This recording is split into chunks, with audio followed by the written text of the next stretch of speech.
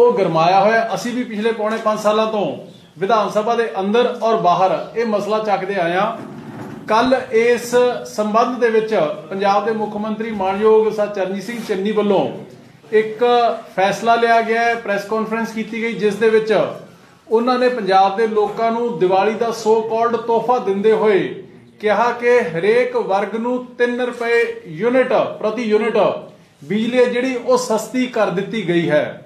ਮੈਂ ਜਾਂ ਆਮ ਆਦਮੀ ਪਾਰਟੀ, ਅਸੀਂ ਕੋਈ ਆਦਤਨ ਤੌਰ ਦੇ ਉੱਪਰ ਸਿਰਫ ਆਪੋਜੀਸ਼ਨ ਹੋਣ ਦੇ ਨਾਤੇ ਵਿਰੋਧ ਕਰਨਾ ਨਹੀਂ ਜਾਣਦੇ।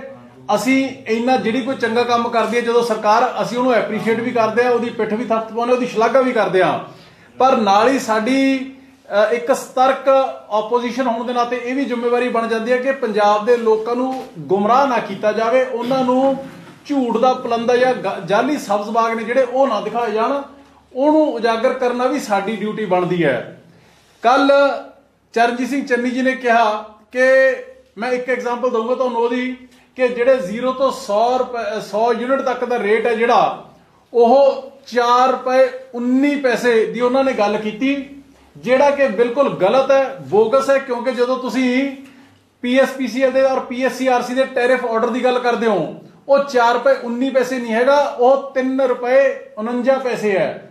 ਸੋ 3 ਰੁਪਏ 49 ਪੈਸੇ ਤੋਂ ਜਦੋਂ ਆਪਾਂ 1 ਰੁਪਏ 19 ਪੈਸੇ ਜਿਹੜੀ ਉਹਨਾਂ ਨੇ ਕੱਲ ਕੀਤੀ ਹੈ ਜਦੋਂ ਉਹ ਕਰਦੇ ਆ ਤੇ ਉਹ 3 ਰੁਪਏ ਨਹੀਂ ਘਟਦਾ ਤਕਰੀਬਨ ਤਕਰੀਬਨ 2 ਰੁਪਏ 30 ਪੈਸੇ ਦੇ ਕਰੀਬ ਹੈ ਜਿਹੜਾ ਉਹ ਘਟਦਾ ਸੋ ਇੱਕ ਤਾਂ ਇਹੀ ਬਹੁਤ ਵੱਡਾ ਫ਼ਰਕ ਔਰ ਇਸ ਤੋਂ ਬਾਅਦ ਜਦੋਂ 100 ਤੋਂ 300 ਯੂਨਿਟ ਤੱਕ ਜਾਓਗੇ ਤੁਸੀਂ ਉਹ ਤਕਰੀਬਨ ਫ਼ਰਕ ਹੈ ਜਿਹੜਾ ਉਹ 2 ਪੌਣੇ 2 ਰੁਪਏ ਰਹਿ ਜਾਂਦੇ ਔਰ ਜਦੋਂ ਤੁਸੀਂ ਉਸ ਤੋਂ ਉੱਪਰ ਅਹ, 300 ਯੂਨਿਟ ਤੋਂ ਉੱਪਰ ਜਾਂਦੇ ਹੋ ਤੇ ਹੋਰ ਵੀ ਉਹ ਜਿਹੜਾ ਪੈਸਾ ਉਹ ਘਟ ਜਾਂਦਾ ਸੋ ਮੇਰੇ ਕਹਿਣ ਦਾ ਮਤਲਬ ਇਹ ਹੈ ਕਿ ਪੰਜਾਬ ਦੇ ਲੋਕ ਸਿਰਫ ਔਰ ਸਿਰਫ ਸਰਕਾਰ ਦੀਆਂ ਗੱਲਾਂ ਦੇ ਵਿੱਚ ਆ ਕੇ ਇਹ ਨਾ ਕਹਿਣ ਮੰਨ ਲੈਣ ਕਿ 3 ਰੁਪਏ ਘਟ ਗਿਆ, ਆਪਦੇ ਜਿਹੜਾ ਪੁਰਾਣੇ ਬਿੱਲ ਨੇ ਟੈਰਿਫ ਆਰਡਰ ਦੇ ਮੁਤਾਬਕ, ਉਹ ਤੇ ਨਵੇਂ ਆਉਣ ਵਾਲੇ ਬਿੱਲ ਜਿਹੜੇ ਉਹਨਾਂ ਨੂੰ ਐਗਜ਼ਾਮਿਨ ਜ਼ਰੂਰ ਕਰਨ। ਇਹਦੇ ਨਾਲ ਹੀ ਜਿਹੜੀ ਇੱਕ ਚੀਜ਼ ਹੋਰ ਬਹੁਤ ਇੰਪੋਰਟੈਂਟ ਹੈ, ਜਿਹੜੇ ਵੇਰੀਏਬਲ ਹੈ, ਉਹ ਤਾਂ ਘਟਾਇਆ ਗਿਆ, ਪਰ ਜਿਹੜੀ ਫਿਕਸਡ ਕਾਸਟ ਹੈ, ਜਿਹੜੀ ਕਿ ਮੈਂ ਸਮਝਦਾ ਤੁਹਾਡੇ ਧਿਆਨ ਦੇ ਵਿੱਚ ਹੋਏਗਾ ਕਿ ਜਦੋਂ ਜਦੋਂ ਅਸੀਂ ਤਿੰਨ ਪ੍ਰਾਈਵੇਟ ਥਰਮਲ ਪਲਾਂਟਾਂ ਦੇ ਐਗਰੀਮੈਂਟਾਂ ਦੀ ਗੱਲ ਕਰਦੇ ਹਾਂ, ਉਦੋਂ ਹਮੇਸ਼ਾ ਇੱਕ ਫਿਗਰ ਸਾਹਮਣੇ ਹੁੰਦੀ ਸੀ ਕਿ ਪੰਜਾਬ ਦੇ ਜਿਹੜੇ ਬਿਜਲੀ ਦੇ ਦਰਾਂ ਨੇ ਦੋ ਤਰੀਕੇ ਨਾਲ ਕੈਲਕੂਲੇਟ ਹੁੰਦੀਆਂ ਨੇ। ਇੱਕ fixed cost fixed unit charges ਆ, ਦੂਜਾ ਵੇਰੀਏਬਲ ਫਿਕਸਡ ਕਾਸਟ ਜਿਹੜੀ ਕਿ ਪੈਣੀ ਹੀ ਪੈਣੀ ਹੈ, ਉਹ ਪ੍ਰੋਡਕਸ਼ਨ ਤੇ ਵੀ ਪੈਣੀ ਹੈ ਤੇ ਉੱਪਰ ਕੰਜ਼ਿਊਮਰ ਦੇ ਉੱਪਰ ਵੀ ਪੈਣੀ ਹੈ। ਉਸ ਤੋਂ ਬਾਅਦ ਵੇਰੀਏਬਲ ਕੀ ਕਿੰਨੇ ਦੀ ਬਿਜਲੀ ਹੈ ਜਿਹੜੀ ਉਹ ਪਰਚੇਸ ਕੀਤੀ ਹੈ, ਜਿੰਨੇ ਦੀ ਆਪਾਂ ਪ੍ਰੋਡਿਊਸ ਕੀਤੀ। ਹੁਣ ਪੰਜਾਬ ਦੇ ਵਿੱਚ ਜਿਹੜੇ ਅਸੀਂ ਥਿਨ ਥਰਮਲ ਪਲਾਂਟ ਦੀ ਗੱਲ ਕਰਦੇ ਰਹੇ ਹਾਂ, ਉਹਦੇ ਫਿਕਸਡ ਕਾਸਟ ਚਾਰजेस ਸੀ ਜਿਹੜੇ ਪਰ ਯੂਨਿਟ ਉਹ ਜ਼ਿਆਦਾ ਸੀਗੇ, ਪੰਜਾਬ ਦੇ ਵਿੱਚ ਅੱਜ ਉਹ ਯੂਨਿਟ ਵੀ ਨੇ, ਉਹਨਾਂ ਦੇ ਵਿੱਚੋਂ ਕੋਈ ਵੀ ਨਹੀਂ ਘਟਾਇਆ ਗਿਆ ਹੈਗਾ। ਜੇ 2 ਕਿਲੋਵਾਟ ਵਾਲਿਆਂ ਦੀ ਗੱਲ ਕਰ ਲਏ 35 ਰੁਪਏ ਪਰ ਯੂਨਿਟ ਪਰ ਕਿਲੋਵਾਟ ਪਰ ਮੰਥ ਸੀਗਾ। ਯਾਨੀ ਕਿ 35 ਇਨਟੂ 2 ਕਿਲੋਵਾਟ ਦੀ ਜਦੋਂ ਗੱਲ ਕਰਦੇ 140 ਰੁਪਏ ਨੇ ਉਹਨਾਂ 2 ਮਹੀਨੇ ਦੇ ਸਾਈਕਲ ਦੇ ਵਿੱਚ ਆਉਣੀ ਆਉਣੇ ਨੇ। 2 ਤੋਂ 7 ਵਾਲੇ ਦਾ 60 ਰੁਪਏ ਆ, ਔਰ 7 ਤੋਂ 50 ਕਿਲੋਵਾਟ ਵਾਲੇ ਦਾ 95 ਰੁਪਏ, ਜਿਹਦੇ 'ਚ ਰਿਡਕਸ਼ਨ ਹੋਣੀ ਚਾਹੀਦੀ ਸੀਗੀ, ਉਹ ਨਹੀਂ ਕੀਤੀ ਗਈ ਹੈਗੀ। ਇਸੇ ਤਰੀਕੇ ਦੇ ਨਾਲ ਜਿਹੜੇ ਇੱਕ ਹੋਰ ਬਹੁਤ ਸਭ ਤੋਂ ਵੱਡਾ ਅੱਜ ਸਵਾਲ ਇਹ 'ਚ ਕੋਈ ਦੋ ਰਾਏ ਨਹੀਂ ਕਿ ਲੋਕਾਂ ਦੇ ਉੱਪਰ ਬੋਝ ਘੱਟ ਪੈਣਾ ਚਾਹੀਦਾ ਬਿਜਲੀ ਦਾ। ਪੰਜਾਬ ਦੇ ਲੋਕਾਂ ਦੀ ਕਾਂਚ ਹੈ ਜਿਹੜੀ ਉਹਨਾਂ ਦੀ ਤਸੱਲੀ ਕਰਾ ਰੱਖੀ ਹੈ ਪਿਛਲੇ ਪੌਣੇ 5 ਸਾਲਾਂ ਦੇ ਵਿੱਚ। ਇਹ ਕੱਲ ਚੰਨੀ ਸਾਹਿਬ ਆਪ ਵੀ ਮੰਨੇ ਨੇ, ਇਸ ਗੱਲ ਦਾ ਸ਼ੁਕਰ ਹੈ ਕਿ ਕਾਂਗਰਸ ਪਾਰਟੀ ਦੀ ਸਰਕਾਰ ਇਹ ਤਾਂ ਗੱਲ ਮੰਨੀ ਕਿ ਲੋਕਾਂ ਦੀਆਂ, ਲੋਕਾਂ ਦੀ ਬੱਸ ਕਰਾ ਰੱਖੀ ਹੈ, ਮਹਿੰਗੀ ਬਿਜਲੀ ਨੇ। ਇਹ ਮੰਨੇ, ਇਹਦੇ ਕਰਕੇ ਉਹਨਾਂ ਨੇ ਰੇਟ ਰਿਡਿਊਸ ਕੀਤਾ। ਪਰ ਨਾਲ ਹੀ ਵੱਡਾ ਸਵਾਲ ਇਹ ਖੜਾ ਹੁੰਦਾ ਹੈ ਕਿ ਇਹ ਲੋਕਾਂ ਦੀਆਂ ਜੁੱਤੀਆਂ ਲੋਕਾਂ ਦੇ ਸਿਰ ਹੀ ਪੈਣ ਜਾ ਰਹੀਆਂ ਨੇ। ਉਹ ਕਿਸ ਤਰੀਕੇ ਦੇ ਨਾਲ? ਅਸੀਂ ਵੀ ਗੱਲ ਇਹ ਕਹਿੰਦੇ ਆ ਰਹੇ ਹਾਂ ਮੈਂ ਤੁਹਾਨੂੰ ਦਿਖਾਉਂਗਾ। ਆਹ ਵਾਈਟ ਪੇਪਰ ਸੀ ਜਿਹੜਾ ਅਸੀਂ ਆਮ ਆਦਮੀ ਪਾਰਟੀ ਵੱਲੋਂ ਜਾਰੀ ਕੀਤਾ ਸੀਗਾ ਪਿਛਲੇ ਸਾਲ ਵਿਧਾਨ ਸਭਾ ਦੇ ਵਿੱਚ। ਇਹਦੇ ਵਿੱਚ ਇਹਦੇ ਵਿੱਚ ਜਿਹੜੇ ਤਿੰਨ ਪ੍ਰਾਈਵੇਟ ਥਰਮਲ ਪਲਾਂਟਾਂ ਦੇ ਨਾਲ ਐਗਰੀਮੈਂਟ ਹੋਏ ਸੀਗੇ ਉਹ ਕਦੋਂ ਹੋਏ ਕਿਸ ਤਰੀਕੇ ਨਾਲ ਹੋਏ ਉਹਦੇ 'ਚ ਕੀ ਗਲਤ ਹੋਇਆ ਕੀ ਸਹੀ ਹੋਇਆ ਹੁਣ ਪ੍ਰੈਜ਼ੈਂਟ ਸਿਚੁਏਸ਼ਨ ਕੀ ਹੈ ਤੇ ਕੀ ਕੀ ਪੰਜਾਬ ਸਰਕਾਰ ਲੋਕਾਂ ਦਾ ਪੈਸਾ ਬਚਾ ਸਕਦੀ ਹੈ ਔਰ ਕਮਾ ਸਕਦੀ ਹੈ। ਉਹ ਸਾਰੀਆਂ ਫਿਗਰਸ ਦੇ ਕੇ, ਦੱਸ ਕੇ ਵਿਦ ਫੈਕਟਸ ਐਂਡ ਫਿਗਰਸ ਹੱਲ ਵੀ ਦੱਸਿਆ ਸੀਗਾ ਤੇ ਅੰਤ ਦੇ ਵਿੱਚ, ਅੰਤ ਦੇ ਵਿੱਚ ਜਦੋਂ ਮੈਂ ਇਹ 17 ਪੇਜ ਦਾ ਵਾਈਟ ਪੇਪਰ ਜਾਰੀ ਕੀਤਾ ਸੀਗਾ, ਉਹਦੇ ਵਿੱਚ ਮੈਂ ਸਪਸ਼ਟ ਲਿਖਿਆ ਸੀਗਾ ਕਿ ਜੇ ਪੰਜਾਬ ਸਰਕਾਰ ਇਹਨਾਂ ਚੀਜ਼ਾਂ ਦੇ ਉੱਪਰ ਗੌਰ ਫਰਮਾ ਲਵੇ ਤੇ ਪੰਜਾਬ ਦੇ ਵਿੱਚ ਪਰ ਯੂਨਿਟ ਬਿਜਲੀ ਜਿਹੜੀ ਉਹ 3 ਤੋਂ 4 ਰੁਪਏ ਸਸਤੀ ਹੋ ਸਕਦੀ ਹੈ। ਅਸੀਂ ਮੁੱਦਾ ਚੱਕਿਆ ਸੀਗਾ ਕਿ ਪੰਜਾਬ ਦੇ ਲੋਕਾਂ ਦੇ ਪੈਸੇ ਦੀ ਜਿਹੜੀ ਲੁੱਟ ਹੋ ਰਹੀ ਹੈ, ਉਹ ਲੁੱਟ ਕਿਸ ਤਰੀਕੇ ਨਾਲ ਹੋ ਰਹੀ ਹੈ? ਤਿੰਨ ਪ੍ਰਾਈਵੇਟ ਥਰਮਲ ਪਲਾਂਟਾਂ ਦੀ ਗੱਲ ਕਰ ਲਈਏ, ਉਹਨਾਂ ਨੂੰ ਫਿਕਸ ਚਾਰजेस ਦੇ ਰੂਪ ਦੇ ਵਿੱਚ ਜਿਸ ਤਰੀਕੇ ਨਾਲ ਉਹਨਾਂ ਤੋਂ ਲਿਆ ਜਾਂਦਾ ਉਹਨਾਂ ਨੂੰ ਦਿੱਤਾ ਜਾਂਦਾ ਮੈਂ ਸਮਝਦਾ ਉਹ ਕਈ ਵਾਰੀ ਆਪਾਂ ਡਿਸਕਸ ਕਰ ਚੁੱਕੇ ਹਜ਼ਾਰਾਂ ਕਰੋੜ ਦੇ ਕਰੋੜ ਰੁਪਏ ਜਿਹੜਾ ਪੰਜਾਬ ਦਾ ਉਹ ਉਹਨਾਂ ਤਿੰਨ ਪ੍ਰਾਈਵੇਟ ਥਰਮਲ ਪਲਾਂਟਾਂ ਨੂੰ ਫਿਕਸ ਚਾਰजेस ਦੇ ਰੂਪ ਵਿੱਚ ਦੇ ਦਿੱਤਾ ਹੈ। ਸਾਸਨ ਜਿਹੜਾ ਕਿ ਰਿਲਾਇੰਸ ਦਾ ਪਲਾਂਟ ਹੈ, ਉੱਥੇ 17 ਪੈਸੇ ਯੂਨਿਟ ਮੁੰਦਰਾ ਟਾਟਾ ਦਾ ਪ੍ਰੋਜੈਕਟ ਹੈ, ਉੱਥੇ 92 ਪੈਸੇ ਪਰ ਯੂਨਿਟ ਦੂਰ ਨਾ ਜਾਓ ਆ ਝੱਜਰ ਹਰਿਆਣੇ ਦੇ ਵਿੱਚ ਥਰਮਲ ਪਾਵਰ ਪਲਾਂਟ ਲੱਗਿਆ ਹੋਇਆ, ਉੱਥੇ 85 ਪੈਸੇ ਪਰ ਯੂਨਿਟ ਫਿਕਸਡ ਕਾਸਟ ਹੈ ਜਿਹੜੀ, ਤੇ ਪੰਜਾਬ ਦੇ ਵਿੱਚੋਂ 1 ਰੁਪਏ 42 ਪੈਸੇ ਤੋਂ ਲੈ ਕੇ ਉਹ ਤਕਰੀਬਨ 2 ਰੁਪਏ, ਸਵਾ 2 ਰੁਪਏ ਤੱਕ ਜਾਂਦੀ ਹੈ। ਇਹ, ਇਹਨੂੰ ਰਿਵਾਈਜ਼ ਰਿਵਿਊ ਕਰਨ ਦੀ ਲੋੜ ਸੀਗੀ, ਜਿਹੜੀ ਕਿ ਨਹੀਂ ਹੋਇਆ ਹੈਗਾ। ਇਸੇ ਤਰੀਕੇ ਦੇ ਨਾਲ ਪਛਵਾੜਾ ਕੋਲ ਮਾਈਨ ਹੈ ਜਿਹੜੀ, ਉਹ ਚਾਲੂ ਕੀਤੀ ਜਾਣੀ ਚਾਹੀਦੀ ਹੈ। ਬਿਹਤਰੀਨ ਕੋਲ ਮਾਈਨ ਹੈ। ਪੰਜਾਬ ਸਰਕਾਰ ਦੀ ਆਪਦੀ ਕੋਲ ਮਾਈਨ ਹੈ। 700 ਕਰੋੜ ਰੁਪਏ ਜਿਹੜਾ, ਉਹਦਾ ਹਰ ਸਾਲ ਉੱਥੋਂ ਉਹਨੂੰ ਚਾਲੂ ਨਾ ਕਰਨ ਕਰਕੇ ਉਹ ਪੈਸਾ ਜਿਹੜਾ ਬਰਬਾਦ ਕੀਤਾ ਜਾ ਕਰ ਦਿੱਤਾ ਜਾਂਦਾ ਔਰ ਐਮਟਾ ਨੇ ਇੱਕ ਹੋਰ ਕੇਸ ਕੀਤਾ ਹੋਇਆ ਕੋਰਟ ਦੇ ਵਿੱਚ, ਜਿਹਦੇ ਨਾਲ 1652 ਕਰੋੜ ਰੁਪਏ ਦੇ ਜੁਰਮਾਨਾ ਪੈਣ ਦੀ ਤਲਵਾਰ ਹੈ ਜਿਹੜੀ, ਉਹ ਪੰਜਾਬ ਦੇ ਸਿਰ ਲਟਕੀ ਹੋਈ ਹੈ। ਇਸੇ ਤਰੀਕੇ ਦੇ ਨਾਲ ਜਿਹੜੇ ਟੀ&ਡੀ ਲਾਸਸ ਨੇ ਟਰਾਂਸਮਿਸ਼ਨ ਐਂਡ ਡਿਸਟ੍ਰੀਬਿਊਸ਼ਨ ਲਾਸਸ ਉਹ ਜੇ ਵਰਲਡ ਓਵਰ ਗੱਲ ਕਰ ਲਈ ਜਾਪਾਨ ਕੋਰੀਆ ਦੀ ਗੱਲ ਕਰ ਲਈ, ਉੱਥੇ 5 5.5% ਆਉਂਦਾ ਹੈ। ਇੰਡੀਆ ਦੇ ਵਿੱਚ, ਦਿੱਲੀ ਦੇ ਵਿੱਚ ਐਚਪੀ ਦੇ ਵਿੱਚ ਤਾਮਿਲਨਾਡੂ ਦੇ ਵਿੱਚ ਉਹ ਤਕਰੀਬਨ 9 ਤੋਂ 10% ਰਹਿੰਦਾ ਹੈ। ਪੰਜਾਬ ਦੇ ਵਿੱਚ ਉਹ 16% ਹੈ 1% ਟੀ&ਡੀ ਯਾਨੀ ਕਿ ਟਰਾਂਸਮਿਸ਼ਨ ਐਂਡ ਡਿਸਟ੍ਰੀਬਿਊਸ਼ਨ ਲਾਸਸ ਜੇ ਹੋ ਜਾਂਦੇ ਨੇ ਤਾਂ 300 ਕਰੋੜ ਦਾ ਚੂਨਾ ਪੰਜਾਬ ਨੂੰ ਲੱਗ ਜਾਂਦਾ ਜੇ 6% ਵੀ ਆਪਾਂ ਵੱਧ ਮੰਨ ਲਈਏ ਕਿ ਜਿਹੜਾ ਜਿਹੜਾ ਕਿ ਪੀਐਸਸੀਆਰਸੀ ਦੀਆਂ ਆਪ ਦੀਆਂ ਰਿਪੋਰਟਾਂ ਕਹਿੰਦੇ ਨੇ 16.34% ਜਿਹੜਾ ਲੱਗਦਾ ਹੈ।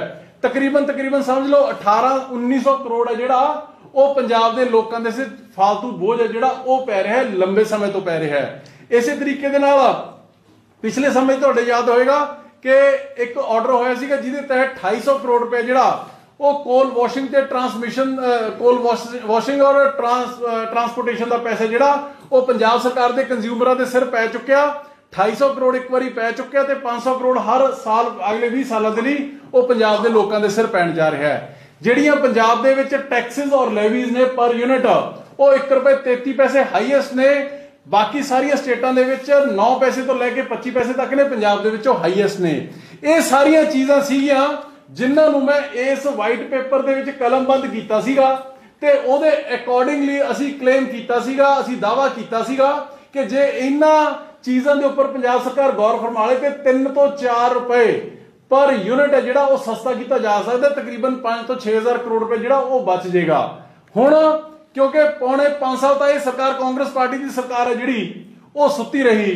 ਤੇ ਹੁਣ ਕਿਉਂਕਿ ਵੋਟਾਂ ਸਿਰ ਤੇ ਆ ਗਈਆਂ, ਲੋਕਾਂ ਨੂੰ ਫਿਰ ਮੁੜ ਕੇ ਦੁਬਾਰਾ ਸਬਜ਼ਬਾਗ ਦਿਖਾਉਣੇ ਨੇ, ਲੋਕਾਂ ਨੂੰ ਦੁਬਾਰਾ ਬੇਵਕੂਫ ਬਣਾਉਣਾ ਹੈ। ਇਸ ਕਰਕੇ ਬਿਜਲੀ ਤਾਂ ਸਸਤੀ ਕਰ ਦਿੱਤੀ। ਪਹਿਲਾਂ ਇੱਕ ਮੈਂ ਗੱਲ ਦੱਸੀ ਕਿ ਜਿਹੜਾ 3 ਰੁਪਏ ਇਹਨਾਂ ਨੇ ਕਿਹਾ ਉਹ 3 ਰੁਪਏ ਨਹੀਂ ਹੈਗਾ। ਟੈਰਿਫ ਆਰਡਰ ਚੈੱਕ ਕਰ ਲਓ, ਲੋਕ ਬਿੱਲ ਚੈੱਕ ਕਰ ਲੈਣ, ਦੁੱਧ ਦਾ ਦੁੱਧ, ਪਾਣੀ ਦਾ ਪਾਣੀ ਸਾਹਮਣੇ ਆ ਜਾਊਗਾ। ਦੂਜੀ ਗੱਲ ਆ, ਜਦੋਂ ਤੁਸੀਂ ਸਸਤਾ ਕਰ ਰਹੇ ਹੋ, ਬਿਜਲੀ ਸਸਤੀ ਕਰ ਰਹੇ ਹੋ, ਅਸੀਂ ਵੀ ਕਹਿੰਦੇ ਕਿ ਸਸਤੀ ਮਿਲਣੀ ਚਾਹੀਦੀ ਹੈ। ਪੰਜਾਬ ਪਾਵਰ ਸਰਪਲਸ ਸਟੇਟ ਹੈ, ਇੱਥੇ ਸੋਲਰ ਵੀ ਹੈ, ਇੱਥੇ ਹਾਈਡਲ ਵੀ ਹੈ ਇੱਥੇ ਥਰਮਲ ਵੀ ਹੈ, ਇੱਥੇ ਹਰੇਕ ਤਰੀਕੇ ਦੀ ਬਿਜਲੀ ਪੈਦਾ ਹੁੰਦੀ ਹੈ।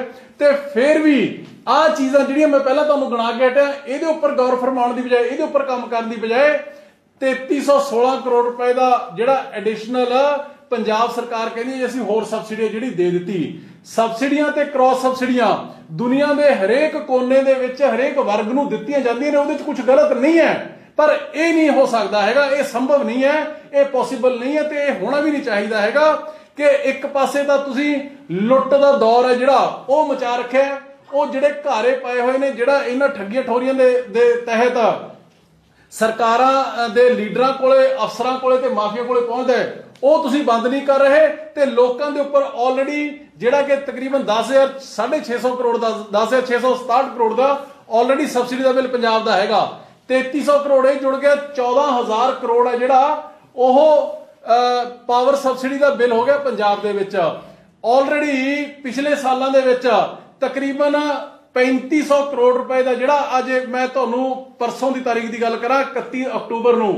3450 ਕਰੋੜ ਸੀ ਜਿਹੜੇ ਉਹ ਆਲਰੇਡੀ ਪੰਜਾਬ ਸਰਕਾਰ ਹਜੇ ਤੱਕ ਪੀਐਸਪੀਸੀਐਲ ਦਾ ਦੇ ਨਹੀਂ ਸਕੀ ਹੈਗੀ। 1500 1450 ਕਰੋੜ ਹੈ ਜਿਹੜਾ ਉਹ ਹਰ ਇੱਕ ਮਹੀਨੇ ਉਹ ਦੇਣਾ ਪੈਂਦਾ 1450 ਕਰੋੜ ਇਸ ਮਹੀਨੇ ਦਾ ਜੁੜ ਜਾਣਾ ਹੈ। 5000 ਕਰੋੜ ਹੈ ਜਿਹੜਾ ਉਹ ਸਰਕਾਰ ਦਾ ਆਲਰੇਡੀ ਸਰਕਾਰ ਵੱਲ ਡਿਊ ਹੈ ਪੀਐਸਪੀਸੀਐਲ ਦਾ। ਜਿਹੜਾ ਪੀਐਸਪੀਸੀਐਲ ਬਿਜਲੀ ਬੋਰਡ 2011-12 ਦੇ ਵਿੱਚ 20600 ਕਰੋੜ ਜਿਹਦੇ ਉੱਪਰ ਕਰਜ਼ਾ ਸੀਗਾ, ਬੋਝ ਸੀਗਾ, ਅੱਜ ਉਹ 34000 ਕਰੋੜ ਤੋਂ ਵੱਧ ਹੈ ਜਿਹੜਾ, ਉਹਦੇ ਉੱਪਰ ਕਰਜ਼ਾ ਜਿਹੜਾ, ਉਹ ਹੋ ਚੁੱਕਿਆ। ਸੋ ਇਹ ਸਾਰੀਆਂ ਚੀਜ਼ਾਂ ਨੇ। ਸਾਡੇ ਕਹਿਣ ਦਾ ਮਤਲਬ ਇਹ ਹੈ ਕਿ ਜੇ ਅਸੀਂ, ਜੋ ਸਰਕਾਰ ਨੇ ਤਿੰਨ ਤਾਂ ਉਹਨਾਂ ਨੇ ਕਿਹਾ, ਪਰ ਉਹ ਤਕਰੀਬਨ ਪੌਣੇ 2 ਤੋਂ 2 ਰੁਪਏ 30 ਪੈਸੇ ਤੱਕ ਦਾ ਜਿਹੜਾ ਬੈਨੀਫਿਟ ਲੋਕਾਂ ਨੂੰ ਪਾਸ ਆਨ ਕੀਤਾ ਹੈ। ਉਹ ਲੋਕਾਂ ਦੀਆਂ ਜੁੱਤੀਆਂ ਲੋਕਾਂ ਦੇ ਸਿਰ ਮਾਰੀਆਂ ਜਾ ਰਹੀਆਂ ਨੇ। ਅਸੀਂ ਤਾਂ ਮੰਨਦੇ ਕਿ ਜਿਹੜੇ ਇਹ ਸੁਜੈਸ਼ਨਸ ਅਸੀਂ ਪਿਛਲੇ ਲੰਮੇ ਸਮੇਂ ਤੋਂ ਕਹਿੰਦੇ ਆ ਰਹੇ ਹਾਂ, ਜਿਹੜੀਆਂ ਕਰਪਸ਼ਨਾਂ ਠੱਗੀਆਂ, ਠੋਰੀਆਂ ਮਿਸਮੈਨੇਜਮੈਂਟ ਪੰਜਾਬ ਸਰਕਾਰ ਕਰ ਰਹੀ ਹੈ, ਉਹਨੂੰ ਬੰਦ ਕਰਕੇ ਇਹ ਬੈਨੀਫਿਟ ਹੈ ਜਿਹੜਾ ਪਾਸ ਆਨ ਕੀਤਾ ਜਾਂਦਾ ਲੋਕਾਂ ਨੂੰ, ਤਾਂ ਤਾਂ ਗੱਲ ਸਮਝ ਆਉਂਦੀ ਸੀਗੀ। ਪਰ ਹੁਣ ਕਿਉਂਕਿ ਸਿਰਫ ਵੋਟਾਂ ਅਹ, ਸਿਰ ਦੇ ਉੱਪਰ ਨੇ। ਲੋਕਾਂ ਨੂੰ ਦੁਬਾਰਾ ਬੇਵਕੂਫ ਬਣਾਉਣਾ ਹੈ ਪੰਜਾਬ ਸਰਕਾਰ ਨੇ। ਹੁਣ ਥਾਂ ਥਾਂ ਦੇ ਪਿੰਡਾਂ ਦੇ ਵਿੱਚ ਜਾ ਕੇ ਫਾਰਮ ਭਰਾਏ ਜਾ ਰਹੇ ਨੇ ਕਿ ਜੀ ਤੁਹਾਡਾ ਬਿੱਲ ਮਾਫ ਹੋ ਜਾਊਗਾ ਉਹਦੇ ਫਾਰਮ ਮੈਂ ਮੈਂ ਕਹਿਣਾ ਚਾਹੁੰਦਾ ਪੰਜਾਬ ਦੇ ਲੋਕਾਂ ਨੂੰ ਕਿ ਫਾਰਮ ਇਹ ਦੁਬਾਰਾ ਤਾਂ ਭਰਿਓ ਜੇ ਪਿਛਲੇ 2017 ਦੇ ਵਿੱਚ ਜਿਹੜੇ ਫਾਰਮ ਭਰੇ ਸੀਗੇ ਜੇ ਤਾਂ ਪੰਜਾਬ ਦੇ ਹਰੇਕ ਨੌਜਵਾਨ ਦਾ ਫਾਰਮ ਭਰਿਆ ਸੀ ਇਹਨਾਂ ਨੇ ਕਿ ਅਸੀਂ ਘਰ ਘਰ ਨੌਕਰੀ ਦੇਵਾਂਗੇ। ਜਿਹਨੂੰ ਨੌਕਰੀ ਮਿਲ ਗਈ ਉਹ ਬਿਸ਼ੱਕ ਬਿਜਲੀ ਵਾਲਾ ਫਾਰਮ ਵੀ ਭਰ ਲੇ। ਘਰ ਘਰ ਫਾਰਮ ਭਰਿਆ ਸੀਗਾ ਕਿ ਅਸੀਂ ਹਰ ਕਿਸਾਨ ਦਾ ਹਰੇਕ ਤਰ੍ਹਾਂ ਦਾ ਕਰਜ਼ਾ ਜਿਹੜਾ ਉਹ ਮਾਫ ਕਰਾਂਗੇ, ਜਿਹਦਾ ਕਰਜ਼ਾ ਮਾਫ ਹੋ ਗਿਆ, ਬਿਸ਼ੱਕ ਉਹ ਭਰ ਲੇ ਜਿਹੜੇ ਨੌਜਵਾਨਾਂ ਨੂੰ ਵਾਅਦਾ ਕੀਤਾ ਸੀਗਾ ਕਿ ਅਸੀਂ ਹਰੇਕ ਨੌਜਵਾਨ ਨੂੰ ਸਮਾਰਟਫੋਨ ਦਵਾਂਗੇ 51000 ਸ਼ਗਨ ਦਾ ਦਵਾਂਗੇ 2500 ਪੈਨਸ਼ਨ ਦਾ ਦਵਾਂਗੇ, ਜੇ ਪੁਰਾਣੇ ਵਾਅਦੇ ਪਿਛਲੇ ਪੂਰੇ ਹੋ ਚੁੱਕੇ, ਤਾਂ ਤਾਂ ਇਹਨਾਂ ਦੇ ਸ਼ਗੂਫਿਆਂ ਦੇ ਵਿੱਚ ਹੁਣ ਆਇਓ। ਜੇ ਨਹੀਂ ਹੋਏ ਹੈਗੇ ਤਾਂ ਘੱਟੋ ਘੱਟ ਇਸ ਗੱਲ ਪਿੱਛੇ ਗੁੰਮਰਾਹ ਨਹੀਂ ਹੋਣਾ ਹੈਗਾ ਕਿ ਸਾਡੀਆਂ ਜੁੱਤੀਆਂ ਸਾਡਾ ਹੀ ਸਿਰ ਤੇ ਪੰਜਾਬ ਸਰਕਾਰ ਹੈ ਜਿਹੜੀ ਉਹ ਲੋਕਾਂ ਨੂੰ ਬੇਵਕੂਫ ਬਣਾਉਣ ਲੱਗੀ ਹੋਈ ਹੈ। ਸੋ ਇਸ ਸੰਬੰਧ ਦੇ ਵਿੱਚ ਸਿਰਫ ਔਰ ਸਿਰਫ ਮੀਡੀਆ, ਕਿਉਂਕਿ ਚੌਥਾ ਪਿਲਰ ਹੈ ਡੈਮੋਕ੍ਰੇਸੀ ਦਾ, ਮੀਡੀਆ ਖੁਦ ਆਪ ਗੁੰਮਰਾਹ ਨਹੀਂ ਹੋਣਾ ਚਾਹੀਦਾ ਤੇ ਲੋਕਾਂ ਦੀ ਅੱਖਾਂ ਵੀ ਖੋਲਣਾ। ਸਾਡਾ ਵੀ ਐਜ਼ ਆਪੋਜੀਸ਼ਨ ਤੇ ਤੁਹਾਡਾ ਵੀ ਕੰਮ ਹੈ, ਇਸ ਕਰਕੇ ਅੱਜ ਤੁਹਾਡੇ ਰੂਬਰੂ ਹੋਇਆ।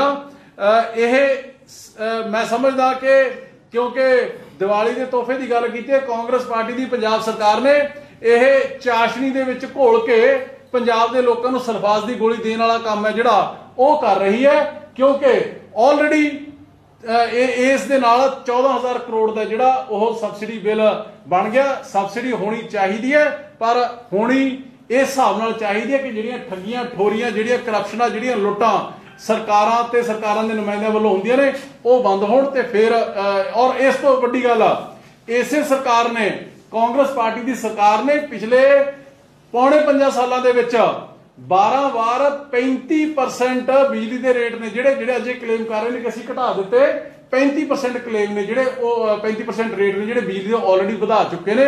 ਸੋ ਲੋਕਾਂ ਦਾ ਔਰ ਇਹ ਨਹੀਂ ਪਤਾ ਹੈਗਾ ਮੈਨੂੰ ਤਾਂ ਸ਼ੱਕ ਇੱਥੋਂ ਤੱਕ ਪੈਂਦਾ ਹੈ ਕਿ ਕਿਉਂਕਿ ਹੁਣ ਵੋਟਾਂ ਵੀ ਸਿਰ ਤੇ ਨੇ ਹੁਣ ਸਰਦੀਆਂ ਵੀ ਆ ਗਈਆਂ ਹੁਣ ਬਿਜਲੀ ਦੀ ਉਨੀ ਲੋੜ ਵੀ ਨਹੀਂ ਹੈਗੀ ਗਰਮੀਆਂ ਦੇ ਵਿੱਚ 14000 ਮੈਗਾਵਾਟ ਪੰਜਾਬ ਨੂੰ ਚਾਹੀਦੀ ਹੁੰਦੀ ਹੈ। ਸਰਦੀਆਂ ਦੇ ਵਿੱਚ ਦਿਨੇ 6000 ਮੈਗਾਵਾਟ ਚਾਹੀਦੀ ਹੈ ਤੇ ਰਾਤ ਨੂੰ 3000 ਮੈਗਾਵਾਟ ਚਾਹੀਦੀ ਹੈ। ਹੁਣ ਕਿਉਂਕਿ ਇੰਨੀ ਬਿਜਲੀ ਦੀ ਲੋੜ ਵੀ ਨਹੀਂ ਹੈਗੀ। ਇਸ ਕਰਕੇ ਹੁਣ ਤਾਂ ਸ਼ਾਇਦ ਇਹ 2 ਮਹੀਨੇ ਘੱਟ ਬਿੱਲ ਭੇਜ ਦੇਣ ਤੇ ਮੁੜ ਕੇ ਜਦੋਂ ਲੋੜ ਪੈਣੀ ਹੈ, ਆ ਇਸ ਸੀਜ਼ਨ ਦੇ ਵਿੱਚ ਹੀ ਦੇਖ ਲਓ, ਝੋਨੇ ਦੇ ਸੀਜ਼ਨ ਦੌਰਾਨ ਪੰਜਾਬ ਦੇ ਵਿੱਚ ਕਿਸੇ ਨੂੰ ਬਿਜਲੀ ਮਿਲੀ। ਲੋਕਾਂ ਨੂੰ, ਕਿਸਾਨਾਂ ਨੂੰ ਸ਼ਹਿਰੀਆਂ ਨੂੰ ਧਰਨੇ ਲਾਉਣੇ ਪਏ। ਤਾਂ ਇਹਨਾਂ ਤੋਂ ਬਿਜਲੀ ਪੂਰੀ ਨਹੀਂ ਹੋਈ ਹੈਗੀ, ਤਾਂ ਇਹਨਾਂ ਤੋਂ ਬਿਜਲੀ ਦਿੱਤੀ ਨਹੀਂ ਗਈ ਹੈਗੀ। ਸੋ ਮੇਰੇ ਕਹਿਣ ਦਾ ਮਤਲਬ ਇਹ ਹੈ ਕਿ ਪੰਜਾਬ ਸਰਕਾਰ ਲੋਕਾਂ ਨੂੰ ਬੇਵਕੂਫ ਬਣਾਉਣ ਤੋਂ ਇਲਾਵਾ ਹੋਰ ਇਸ ਕੱਲ ਦੇ ਜਿਹੜੇ ਸ਼ਗੂਫੇ ਛੱਡੇ ਨੇ ਉਹਨਾਂ ਨੇ, ਹੋਰ ਇਸ ਤੋਂ ਇਲਾਵਾ ਕੁਝ ਨਹੀਂ ਹੈਗਾ। ਸਾਡਾ ਹਰ ਇੱਕ ਪ੍ਰੋਗਰਾਮ ਦੇਖਣ ਅਤੇ ਸਾਡੇ ਨਾਲ ਜੁੜਨ ਲਈ ਸਬਸਕ੍ਰਾਈਬ ਕਰੋ ਬਨੇਰਾ ਟੀਵੀ ਅਤੇ ਨੋਟੀਫਿਕੇਸ਼ਨ ਲਈ ਬੈਲ ਆਈਕਨ ਤੇ ਕਲਿੱਕ ਕਰੋ।